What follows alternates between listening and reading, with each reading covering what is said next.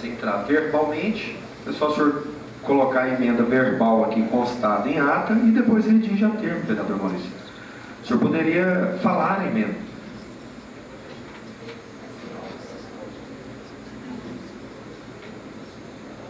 Retirar? Retirar já pode?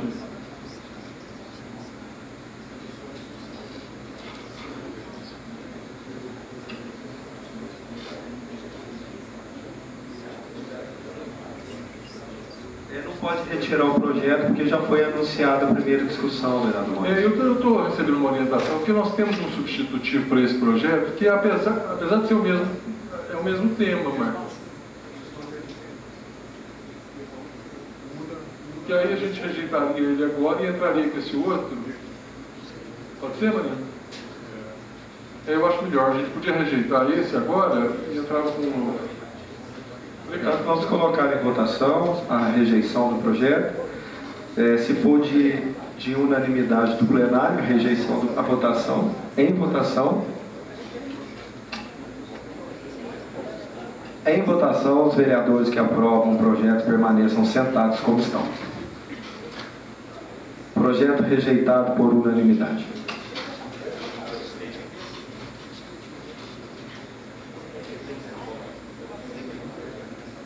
Prim- Em primeira discussão e votação, projeto de lei número 5228/2019, que autoriza a criação da Central de Empregos para as pessoas com deficiências no município de Três Corações e da outras providências.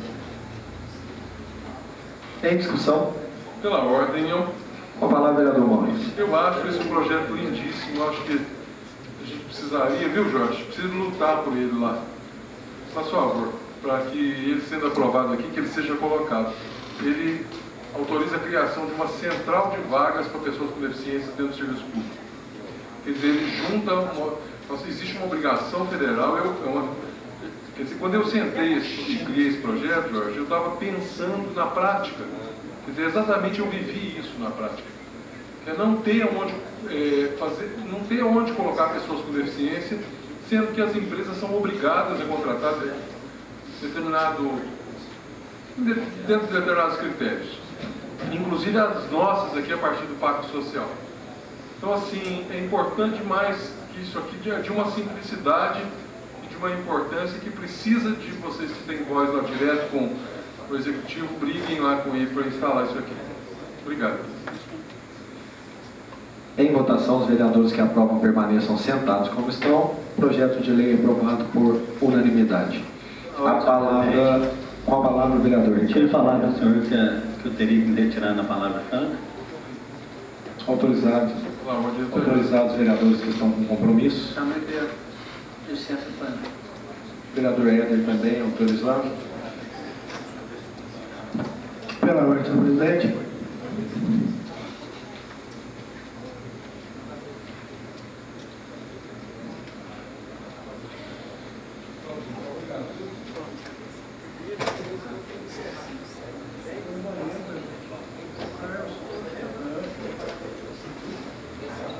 Com a palavra, o vereador Fabiano Barbosa. Eh, Senhor presidente. Eh, Primeiramente, eu queria eh, dar os parabéns à Lisa né, pelo, pelo trabalho que está fazendo. A gente sabe eh, da seriedade que está sendo feita a educação. Parabéns à Flávia. A gente entende né, como as duas deram certo.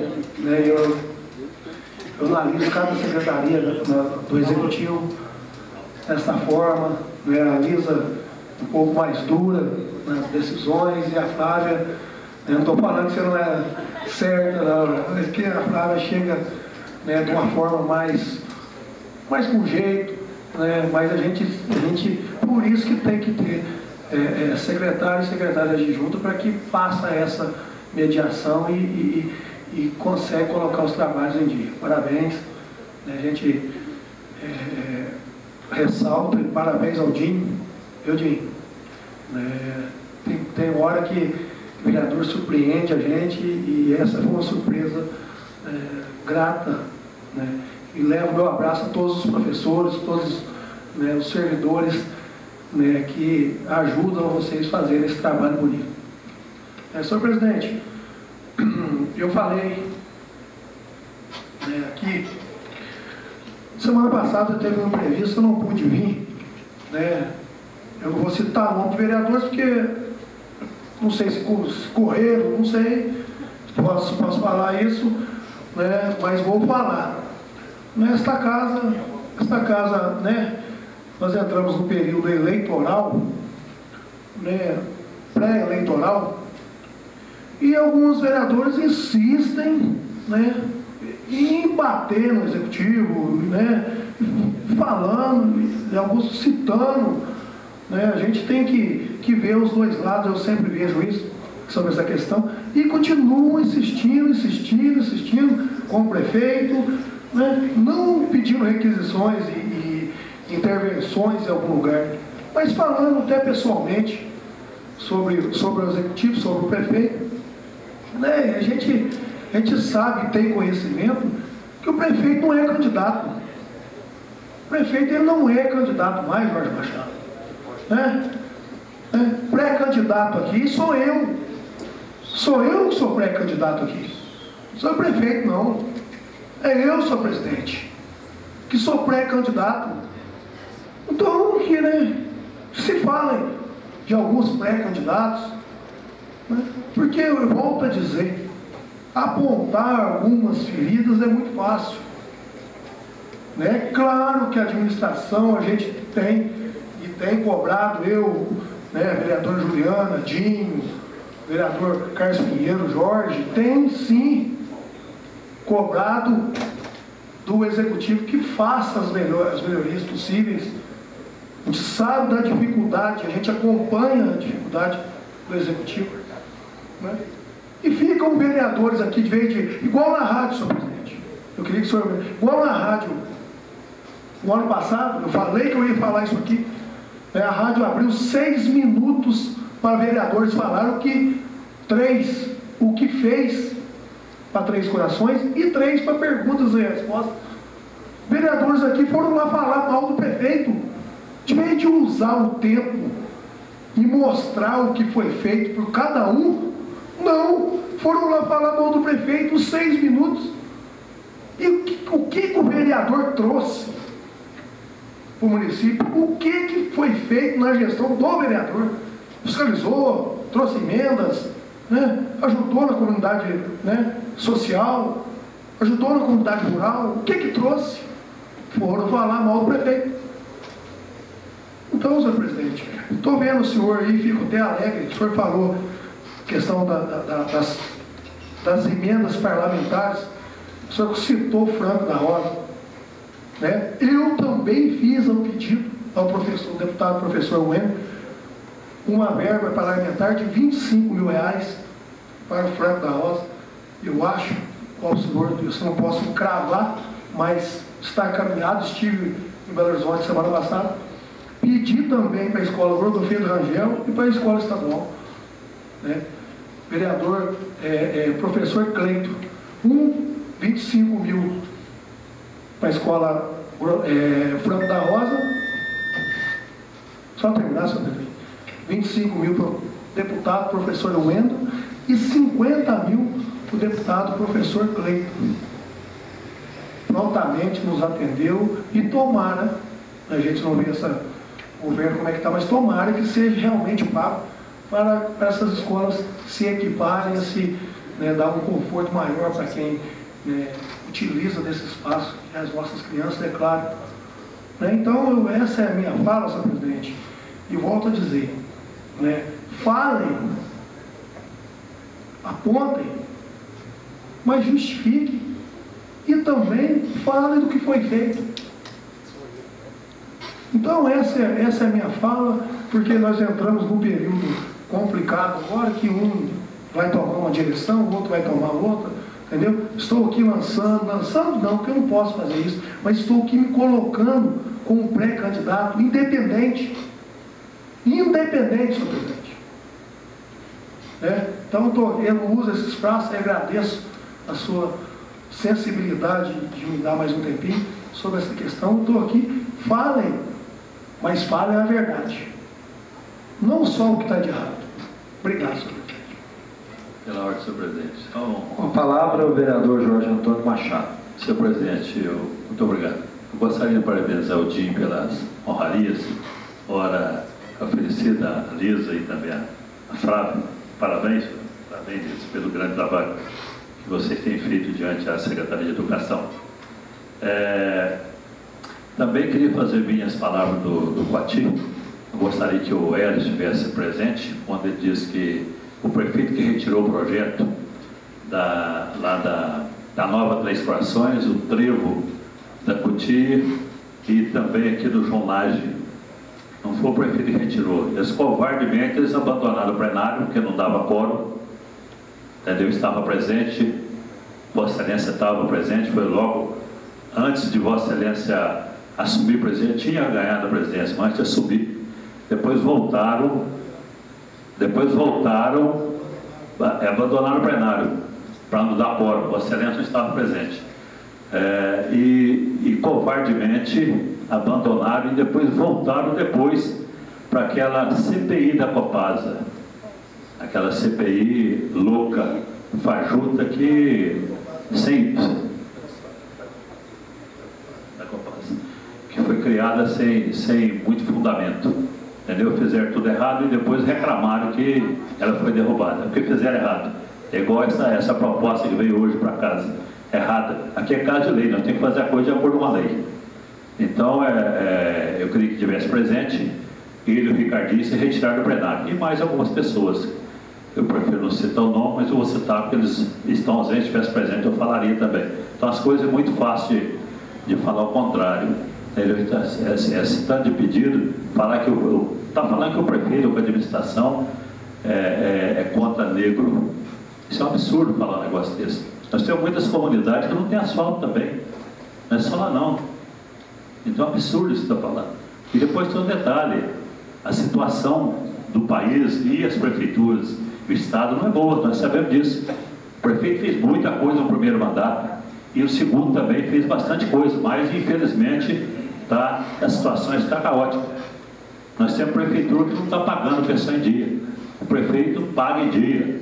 Esse mês atrasou cinco dias o, o, vale, o, o salário, o pessoal questionou e pagou o vale adiantado. Então, é, é, existe prefeitura que tem situação é, caótica. O pessoal está recebendo parcelado o salário deles, como o Estado também está. Então, nós temos que ver as coisas boas. Agora, infelizmente, tem gente que não gosta da cidade. Fica com demagogia aqui dentro do plenário. Aproveita que está cheio de gente e fica com demagogia falando besteira. Apresentando projetos sem pé, sem cabeça, que não tem condição de cumprir, mas fica exigindo e, e cobrando. Então, infelizmente, conforme disse o Guati, nós estamos num período, realmente esse ano, eu disse no começo, que é o ano eleitoral, e vai ter gente falando asneiras aqui dentro, infelizmente, e faltando até com respeito com as autoridades. Então, como que quer respeito das pessoas para conosco, se não respeitamos os companheiros? Senhor presidente, eu gostaria também de dizer que eu estava vindo de Brasília semana passada, juntamente com o Pinheiro, onde nós conseguimos algumas emendas para Três Corações, mas não vou citar somente uma, que já manifestaram, a, a, o deputado já manifestou a, a, PAI, são 62 mil reais para compra de remédio, e conseguimos mais verbas, mas nós estamos aguardando o parlamentar é, manifestar para nós, entendeu? Para a gente anunciar aqui. E vindo de Brasília, nós recebemos um telefonema de um médico, onde ele estava questionando é, sobre a, a, construção da torre para o canal de televisão e de rádio que nós conseguimos, que é a TV Legislativa, que nós conseguimos meu mandato como presidente, juntamente com os colegas, na época vereadores, que tem alguns aqui presentes, como o Coati. E, então, nós conseguimos esse canal de televisão e mais a rádio legislativa, para é, dar clareza no trabalho do Poder Legislativo, dar mais é, conhecimento a população dos atos do vereador. E então, essa, essa torre, segundo um morador que ligou, que incomodava, que estava perto da casa dele, que a casa dele é próxima lá, e eu disse para ele que já existia dez torres de frente à casa dele, mas nós, nós iríamos, mais uma não iria, não iria atrapalhar. mas nós, nós iremos ver o melhor possível para atender a comunidade. E hoje eu estive juntamente com o Pinheiro lá na prefeitura, é, diante de uma conversa que eu tive ontem com algumas pessoas, inclusive o engenheiro de telecomunicações e mais o, o Marcelo da rádio também que ofereceu espaço da, da antena dele, da torre dele para colocar nossa antena, e o prefeito cedeu o espaço lá onde a prefeitura tem uma, uma, uma torre, onde já existe lá da, uma, uma antena da Globo, da, da, da Bandeirante, da Record e outros, outros canais, ele cedeu para que nós pudéssemos colocar lá a nossa antena de rádio e televisão. Então, e desse local que seria colocada a antena, o prefeito autorizou, eu vou fazer para a próxima reunião, mas já estou anunciando, vai construir uma praça lá. Porque lá o pessoal limpou, tem o pessoal que cuida da grama, e ali não é, não é área para praça. Antes eu verifiquei, antes de ser doado para casa, eu verifiquei junto aos, aos órgãos da prefeitura, me disseram que não era equipamento comunitário, era um terreno que estava à disposição para esse fim. Então, não vai ser mais colocado lá, está à disposição a torre da prefeitura para colocar, colocar a antena da rádio e da, do canal de televisão da, da Câmara Municipal de Três Corações. Muito obrigado, senhor. Obrigado, senhor presidente. Com a palavra o vereador Williandro Wagner Gonçalves de Castro. Senhor presidente, mais uma vez quero parabenizar a secretária de Educação Luísa Paula, de Junta Flávia, a Juliana, que foi minha amiga de infância, que contribui muito com a rede, a outra professora que está ali também. Então, é, a educação tem mais duas professoras lá em cima também. Então, a educação Três Corações está funcionando muito. A gente vê pela qualidade das crianças quando saem das escolas, já não tem aquele tumulto mais nas ruas. Tem um compromisso sério com formação de pessoas, é, com formando cidadãos ali. Então, muito obrigado, senhor presidente, e mais uma vez, parabéns. Pela ordem, senhor presidente. Palavra o vereador Francisco Carlos Pinheiro.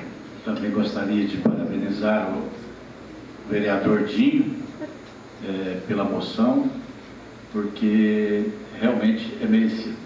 A gente reconhece isso. Parabéns para vocês. Senhor presidente, eu gostaria de deixar registrado é, a minha indignação com pessoas covardes, igual essa pessoa que se usou de uma pessoa que tem, para mim, é um deficiente mental, esse que apresentou a denúncia quando a vereadora Juliana, é, porque ele se esconde atrás dessa pessoa para fazer essa denúncia. Porque o, o denunciante, por si só, ele não tem capacidade cognitiva, não tem capacidade intelectual e muito menos capacidade jurídica. E nem moralidade para isso. Então eu gostaria de deixar registrada essa minha indignação e, e dizer a essa pessoa que serviu de mentor para esse, e, e que ainda fez errado. Porque na instrução que ele deu para o denunciante, deixou de juntar documentação e que foi motivo da gente recusar essa denúncia. Muito obrigado, senhor presidente.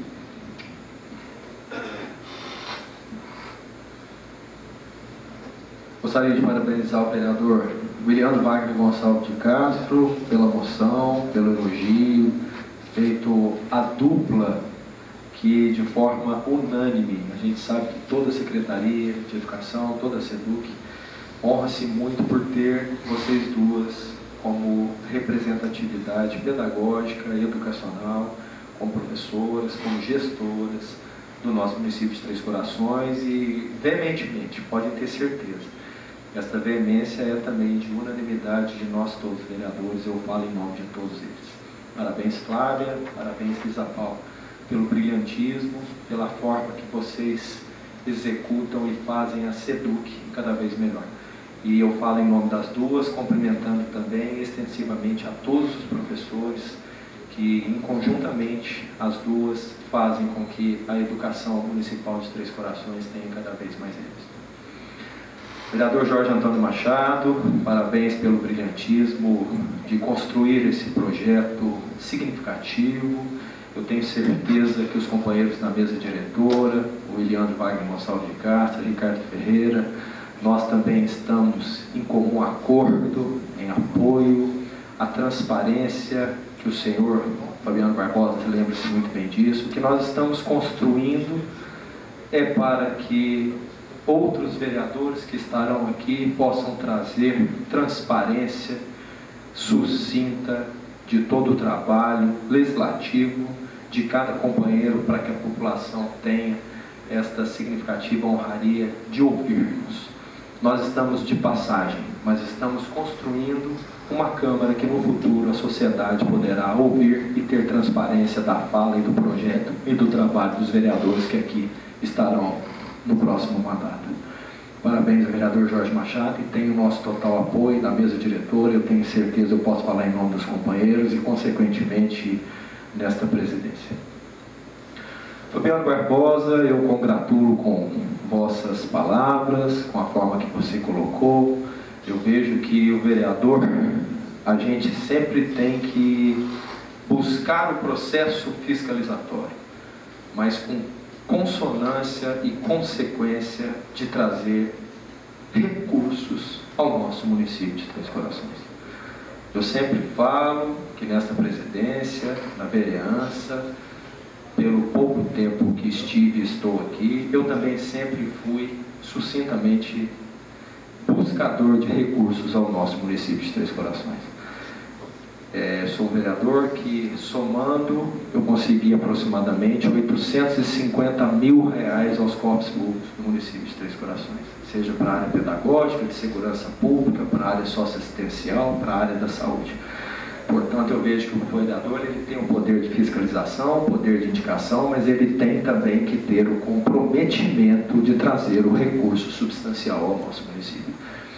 Gostaria de parabenizar a vereadora Juliana Prudêncio pela forma com que você, eu vou repetir, até que se prove ao contrário, qualquer cidadão comum perante a Constituição Federal é inocente. Então não cabe a esta casa julgá-la, esta casa investigá-la. Nós simplesmente seguimos um trâmite normal da casa e fizemos o que é de mais respeitosa forma que você hoje foi absolvido pelo plenário, nesta forma apenas regimental. Agradeço ao setor de comunicação da Casa, ao novo vereador Weber, às companheiras do Legislativo, Marcela Iqueira, muito obrigado pelo trabalho de vocês. Agradeço a diretora legislativa, doutora Mariana, o doutor Marco Antônio Gibran, que tem feito um brilhantismo trabalho, a todos os funcionários dessa casa, ao setor de comunicação, aos presentes aqui, muito obrigado, aos homenageados dessa noite aos familiares das pessoas que estiveram aqui representadas esta noite e em nome desta presidência eu congratulo e despeço-me dizendo que Três Corações precisa urgentemente para que nós tenhamos uma unção espiritual, uma união política, para que Três Corações saia definitivamente deste cenário nacional ao qual Operação Metástase e outras coisas que avassalaram o nosso poder público municipal. Eu acho que nós precisamos nos unirmos para que nós possamos, neste ano de eleição, fazermos com que o nosso município tenha cada vez mais meu muito obrigado. Encerro os trabalhos desta noite e, saliento e convido a todos para que em pé salvemos o pavilhão nacional com uma salva de palmas.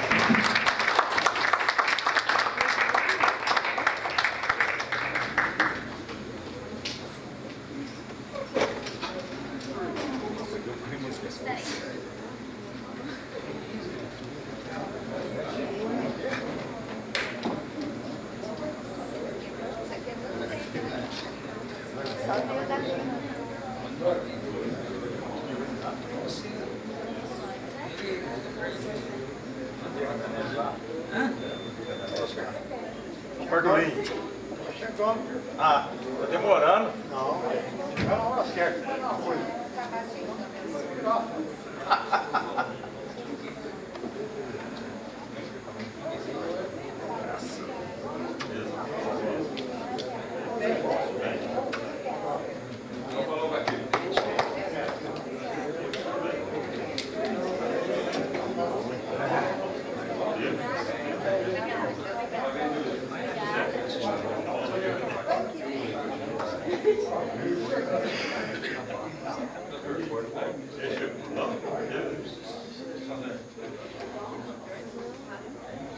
Vamos foi lá ou não? Tá com a não foi não?